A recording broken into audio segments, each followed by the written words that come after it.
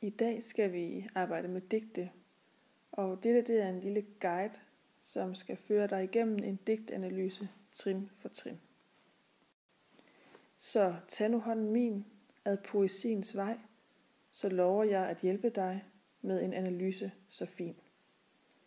Det vil sige, at du skal tage dit digt, og så skal du tage filmen her, og så skal du arbejde med digtet en slide ad gangen.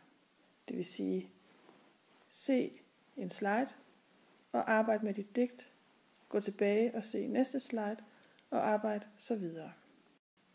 Hvis du ser digtet på billedet, så ligner det nærmest Pyg, men det er faktisk et digt.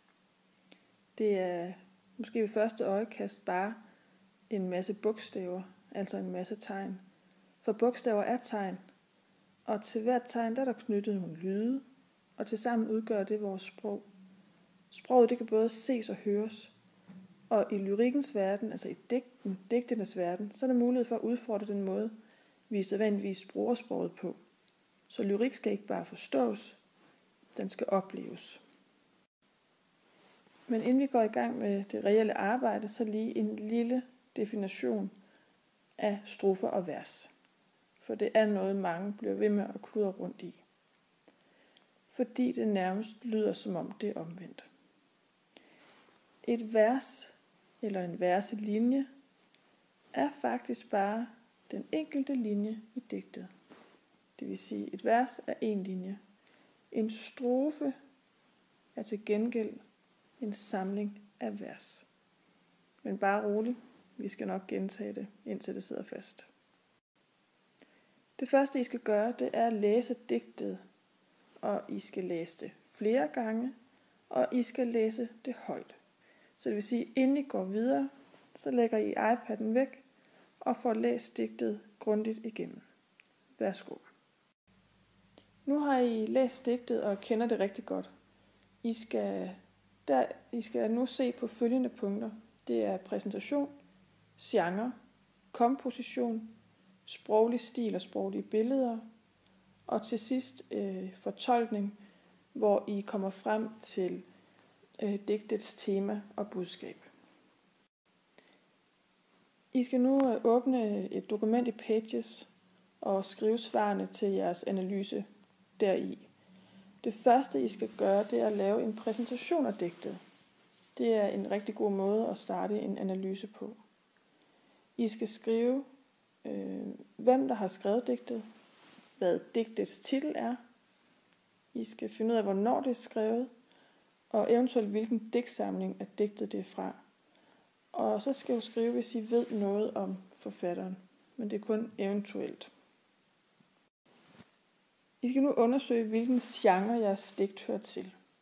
Jeres øh, digt kan enten være episk, lyrisk, eller det kan være knækprosa.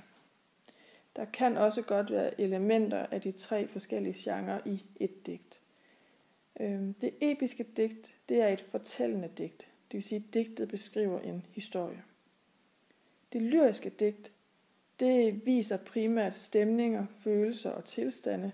Det vil sige, at der er sandsynligvis ingen handling. Den tredje og sidste, det er knækprosa, og her er det især den ydre form, altså den måde, digtet ser ud på, øh, der er afgørende, det er, at digtet består af brudte linjer. Faktisk lidt ligesom en novelle, der er blevet klippet i stykker. Et eksempel på et episk digt er faktisk øh, den børnesang, I alle sammen kender, Marie Hønen evig glad. Fordi herfor hører man historien om, hvordan hun går tur på et rabarberblad, møder Søren Snegl, og hvordan hun til sidst bliver gift med ham. Et eksempel på et lyrisk digt er digtet af Søren Ulrik Thomsen, hvor digtet faktisk bare består af ord. Regn, søvn, blå, kys, lys, seng, vand, hånd. Og i næste strofe bliver ordene sat sammen til regnhånd, lyskys, vandlys, blåseng og så videre. Her er der ingen handling, men en masse ord, som skaber en stemning.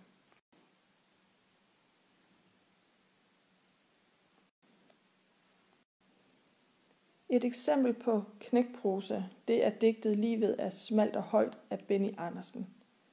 Her er der en sammenhængende tekst, men den er brudt op. Det vil sige, det er lidt ligesom en novelle, der er blevet klippet i stykker. Det I skal gøre nu, det er, at I skal se på jeres digt, og så skal I beslutte eller finde ud af, hvilken genre jeres digt er. Og jeres svar, det skal I skrive i jeres dokument i Pages. Nu skal vi arbejde med kompositionen, det vil sige, hvordan er digtet bygget op, og her skældner vi mellem ydertræk og indertræk. Først der skal vi se på, hvordan digtet ser ud.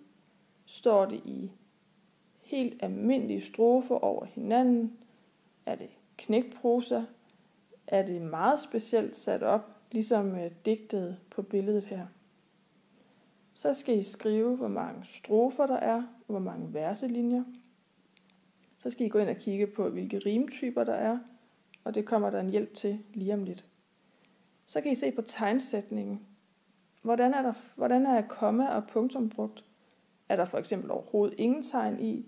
Er der en masse punktummer, eller kun kommaer, eller hvordan ser det ud? Og hvorfor ser det sådan ud? Det må I gerne begynde at undre jer over.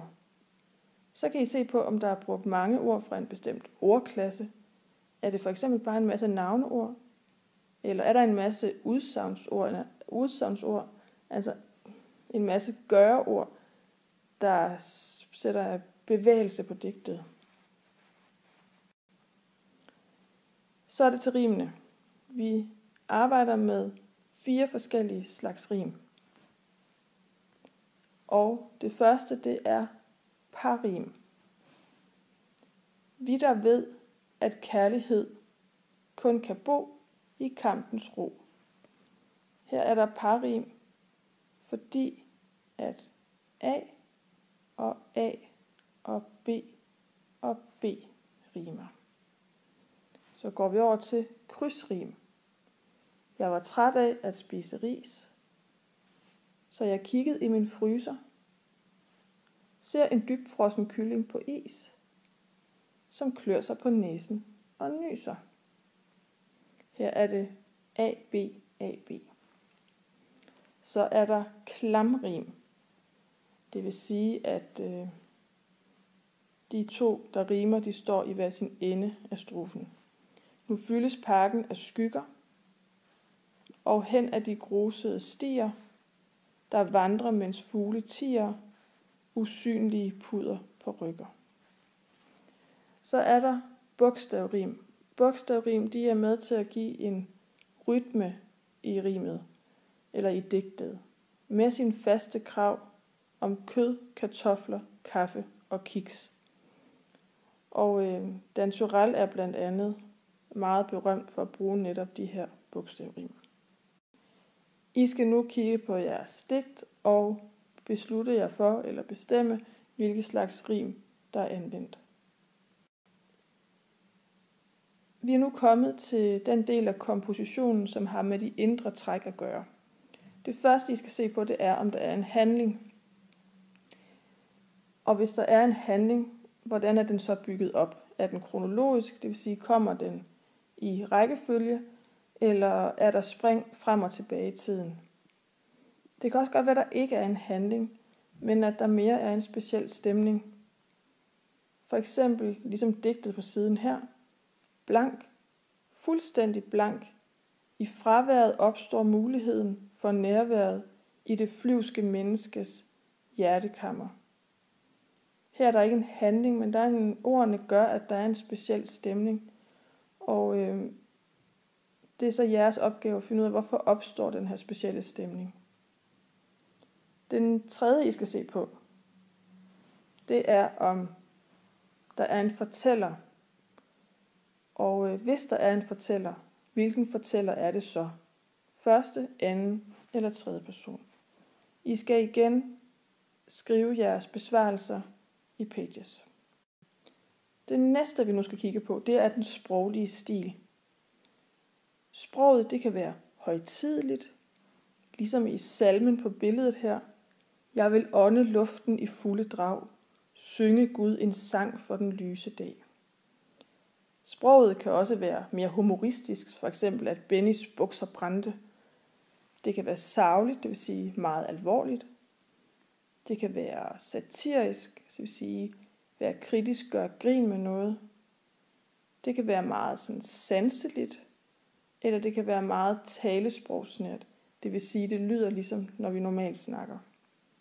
Igen, kig på jeres digt, og prøv at vurdere, hvilken sproglig stil det er skrevet i. Det sidste, vi skal kigge på, inden at vi kommer til selve fortolkningen, det er, om der er sproglige billeder. Man kan sige, at malerkunsten bruger farver på lærreder, men forfatteren maler med ord. Det vil sige, at der er ingen ord i digte, som er helt tilfældige.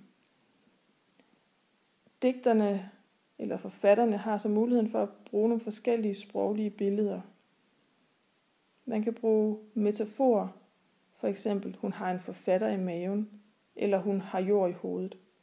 Det er en metafor, fordi der selvfølgelig er der ikke nogen, der har en forfatter inde i maven, og der er jo heller ikke nogen, der reelt har jord i hovedet.